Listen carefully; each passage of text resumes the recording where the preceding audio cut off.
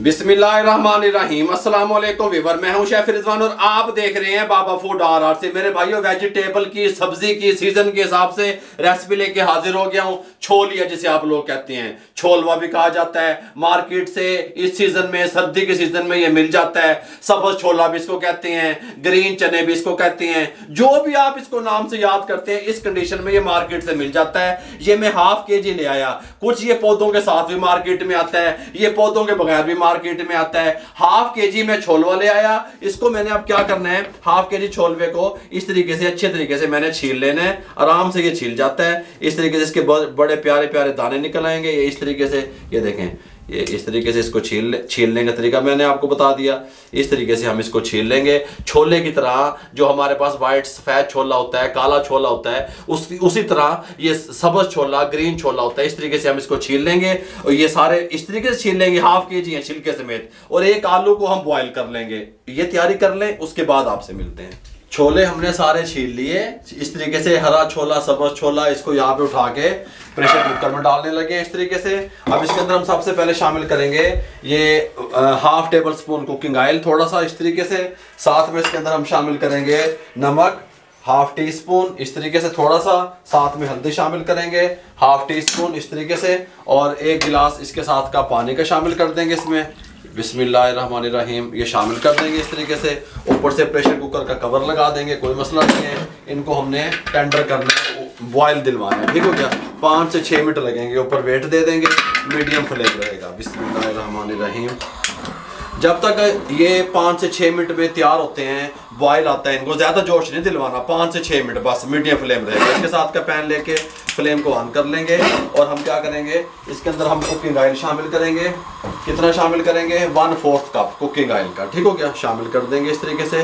गर्म होने के लिए छोड़ देंगे। जब तक हमारा ऑयल गर्म होता है, हम मिक्सी का एक जार ले लेंगे इस तरीके से। इसको यहाँ पे ले आएँगे। इसके अंदर हमारे पास तीन अदर टमाटर हैं। ये देखें इस तरीके से। तीन अदर सब्ज़ मिर्चें हैं। तीन सब्ज़ मिर्चें डाल देंगे। तीन टमाटर डाल के, हल्का सा पानी डाल के एक पेस्ट तैयार कर लेंगे। ऑयल गर्म हो चुका है। एक इंच का टुकड़ा दार चीनी का तोड़ के शामिल कर देंगे। चार से पाँच अदद लौंग शामिल कर देंगे, कोई मसला नहीं है। एक बड़ी इलायची शामिल कर देंगे।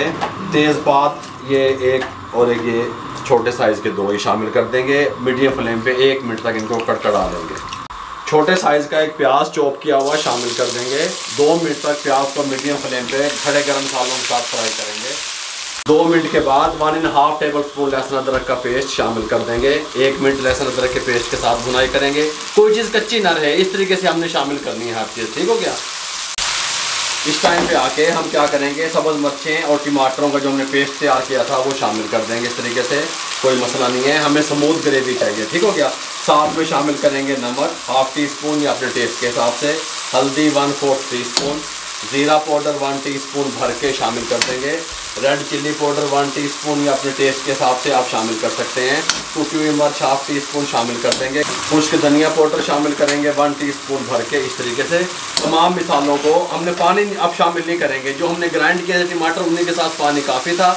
अच्छे तरीके से बुनाई कर लेंगे दो से तीन मिनट बुनाई करने के बाद प्रेशर कुकर हमारा चलना शुरू हो गया है। चने हमारे बॉयल हो रहे हैं फ्लेम को दम वाला कर देंगे। इस फ्लेम को दम वाला करके टू टेबल स्पून दही शामिल कर देंगे। कोई मसला नहीं है टेस्टफुल बनेंगे अलहमदिल्ला ये जो आलू हमने बॉयल करके मैश कर लिए थे आलूओं को, ये शामिल कर देंगे इस तरीके से।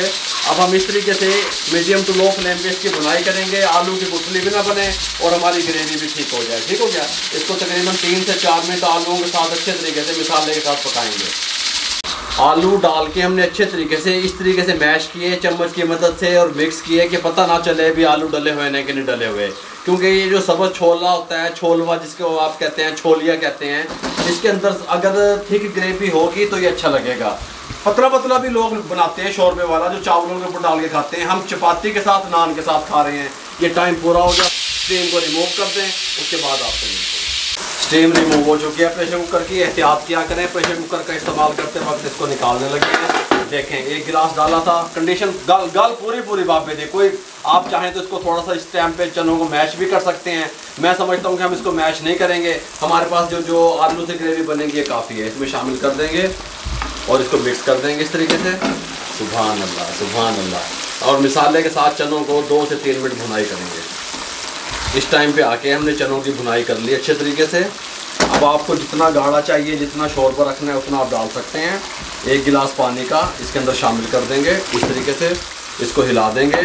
बॉयल आने का वेट करेंगे। बॉयल आना शुरू हो गया। ऊपर से कवर लगा देंगे। फ्लेम दम वाला कर देंगे। 10 मिनट के लिए छोड़ देंगे। छोलवा छोलिया जब भी तैयार करें, उसको बिल्कुल मैश किया हुआ ना हो थोड़ा सा क्रिस्पी होना चाहिए खड़ा खड़ा होना चाहिए। ये जो छोलवा होता है, सब्ज़ी होती है। गल समझ आ रही है? आपको 10 से 15 मिनट के बाद मिलते हैं। दस मिनट के बाद कवर को उठाने लगे हैं। बिस्मिल्लाहिर्रहमानिर्रहीम। आप लोग देख सकते हैं, कितनी प्यारी खूबसूरत बनी है। ये देखें छोलवा हमारा किस तरीके से बना है? गाढ़ा गाढ़ा इसके अंदर ग्रेवी है गाढ़ी गाढ़ी इस तरीके से। इस टाइम पे आके कसूरी मेथी इसके अंदर थोड़ी सी शामिल कर दें। ठीक हो गया? इसके अंदर साबित सब्ज मिर्चें शामिल कर दें चार अदद। इसके अंदर अब हम शामिल करेंगे गर्म मसाला वन टी स्पून भर के, या अपने टेस्ट के हिसाब से। Black pepper one fourth teaspoon थोड़ी सी बस। धनिया शामिल कर देंगे, इस तरीके से। मिक्स कर देंगे, इस तरीके से। आराम से हाई फ्लेम हाई कर देंगे। एक मिनट के लिए कुक करेंगे बस। एक मिनट के बाद फ्लेम को बंद कर देंगे कवर दे देंगे। दो मिनट के लिए दम पे छोड़ देंगे। दो मिनट के बाद इसको उठाएँगे, यहाँ पे लेंगे छोलवा, छोलिया सबस छोला, हरा छोला हमारा रेडी है बिल्कुल।